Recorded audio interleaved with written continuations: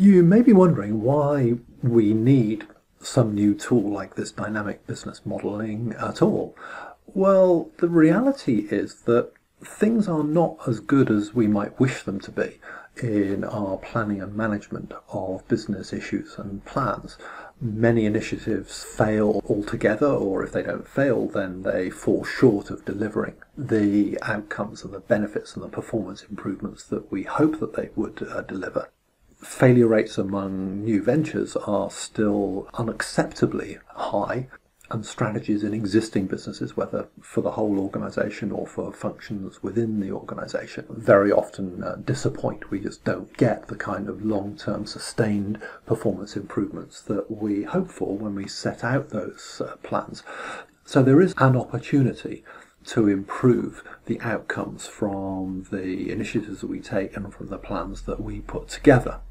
So, to just explore where that opportunity comes from, let's start by thinking about how we think we're going to get better performance from our existing methods.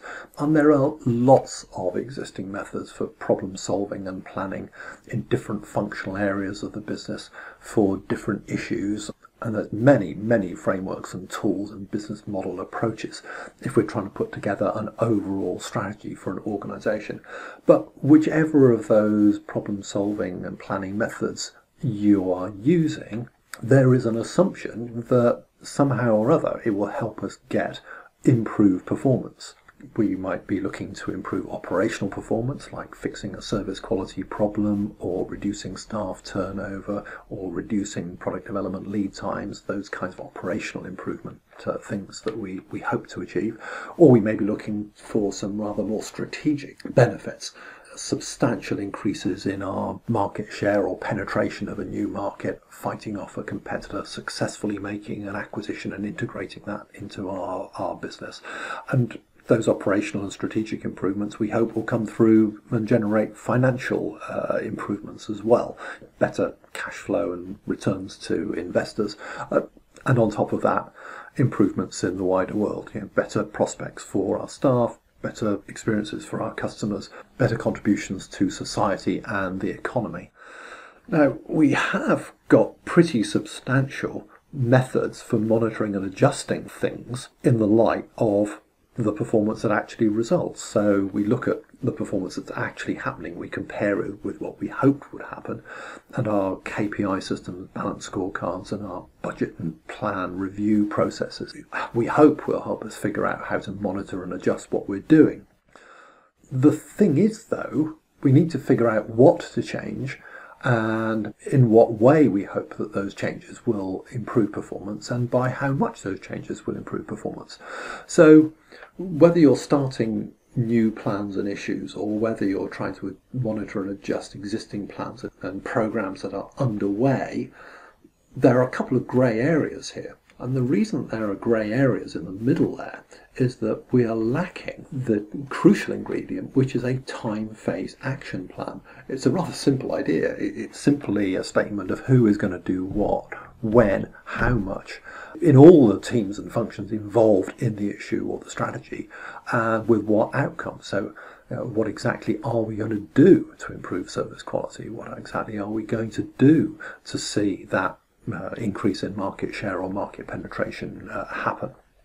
Now, if we did have such a time phase action plan, then those monitoring and adjustment systems would have something actually to uh, work on. They would be able to tell us how to adjust those time phase action plans in such a way that we can be somewhat confident about the performance improvement that would result. For simple issues and for simple plans, we've always been able to rely to some degree on the experience and judgment of people who've been around for a while. You know, they've worked in the organisation for a long time, they've worked in the industry for a long time, they've got a good idea how to develop plans for staffing or how to improve service quality in their particular setting. The problem is, as I explained in a, another of these videos, things are not always simple enough Uh, we have these critical factors accumulating over long periods, customers being won and lost, staff being hired and developed, adding to the product range or the capacity of the organization. There are lots of interdependencies between those different parts of the system, and we get feedback happening between those interdependent parts. Then we've got threshold effects happening where everything seems to be going fine uh, for a long, long time, and all of a sudden it isn't going fine anymore because we've crossed some threshold.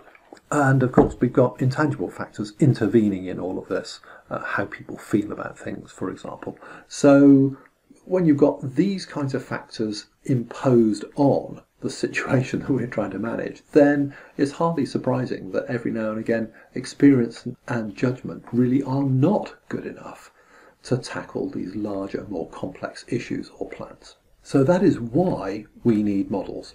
Models allow us to test and manage the strategies and plans that we have been trying to figure out.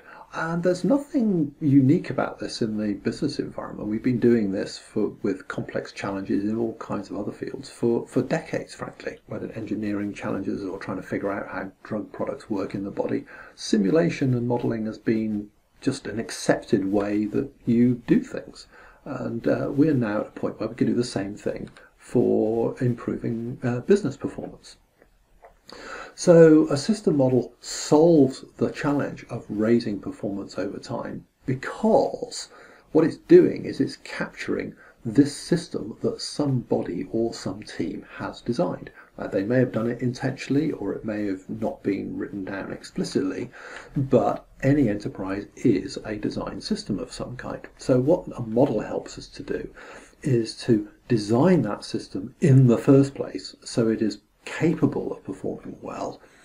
Then, once the system is going, we can uh, get the information about how it's actually performing. We can compare it with how the model thinks it ought to be for performing, and we can use that to manage the system continually so it actually does perform well and fulfills its uh, potential. Now, of course, life always uh, throws up new challenges and opportunities. So, the third thing that a system model allows us to do is to fix the system if problems arise or if new opportunities happen. Just a last comment. We can do this at many different levels of the business. We, we can certainly do it for the organisation as a whole, for the whole business or the business unit that we're interested in. But we can also model what's going on in any part of the organization, um, a subdivision of the business unit, for example, or a particular function, maybe the staffing strategy or what's happening in the customer service team. And we can use these models for two purposes. We can use them to tackle one off issues fixing that service quality issue that's uh, been bothering us and been getting worse over recent months, how to deal with threats or take opportunities that uh, present themselves, and uh, how to implement quite challenging initiatives. Perhaps we want to push through some uh, organisational change initiative, which is not going to be trivial. But then uh, we can use models as well to develop and manage a continuing long term plan, whether that is for the whole enterprise, the strategic plan for the business, or strategic plan for launching a new enterprise, or long term plans for particular functions. What is the staffing strategic plan? What is the strategic plan for IS development? Those kinds of things. So, as I say, we can use models uh, at any level and for either of those two purposes.